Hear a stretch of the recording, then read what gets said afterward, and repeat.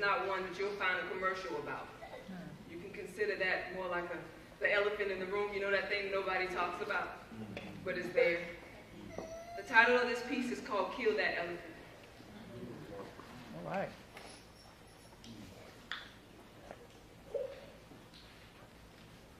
I sat outside of my body staring. Still a faint feeling of my faint breathing while witnessing the screaming of people who didn't even know. They didn't even know me. They never took the time to disconnect from their grind. They were always hustling for a prize, while I was always just a little too far from their reach. Wish that I could get that out of my mind. But every day I was constantly reminded of how imperfect I was in light of everyone else around me. See, I was born to be different. But I was the only one who could see it. I'm convinced that if I could have only explained it perfectly, still no one else would ever believe it.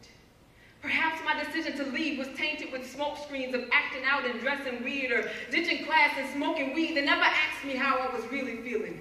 They always took my I'm good as a sign that I was good, but I was crying out like the Goodie Mob on steroids, sending SOSs for the stress, but all they heard was noise static. I sent them all signals and they missed it, and now they all miss me. And so I sat outside of my body, this time screaming, somewhat of a bittersweet goodbye, mixed with greetings of meanings that I've never heard before in my life. Perhaps I did mean something to somebody. Perhaps this was just a recording. Another rerun. You've seen it play out before. As soon as I'm back in my body, their words will make me wish that I was gone, like the wind that I'm holding on to right now. I'm thinking, should I let go of this wind that I'm holding on to right now? No! I don't want to die. But I don't know how to live.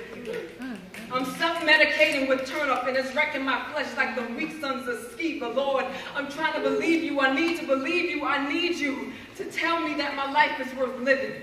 That I have something worth giving, that I don't have to live life constantly grieving to live life. This shallow breathing is fleeting. I'm resisting. I was resisting. No, really. I was really resisting, and that's when it happened. That's when the room lit up above my almost lifeless flesh.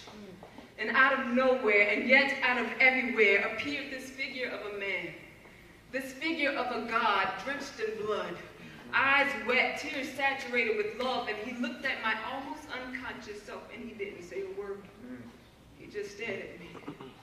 He stared at me and then his eyes lit this fire that worked its way from the bottom particle of the smallest toe on my right side and left. Everything hurting me on the inside on fire and it burnt so good. It was as if his love melted away the gates of brass and then he released my soul from the clutches of death and as my lungs collapsed and I almost seemed to brush up against hell but on the third pump I rose again as if I had never failed, as if I had never failed. See, I never known such freedom existed. All of this freedom in the land of the living, until I changed my decision.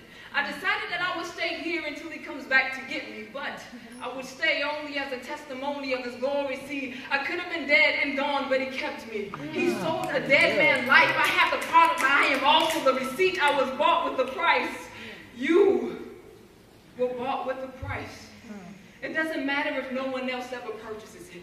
See, Jesus paid the price because he knew that you were always worth it. So don't ever give up on life because you matter. Well, unless you start wrestling matches with thoughts that have already been defeated. See, you TK'd death and his minions of powerless demons. Sinner suggestions appearing to be screaming while paying off the guy in the corner with the bullhorn because he has no real voice. They're all lies. Telling you, you gotta stop listening to these lies. We need you. We need your life, your art, your gift, your talent, your love. We need your joy and your strength, your courage, your voice. We need you to kill that freaking elephant and live. The whole earth is sounding off for you to manifest you. So put the razor down. Mm-hmm. Put the pills down. Put the gun down. Listen, the whole earth is sounding off for you.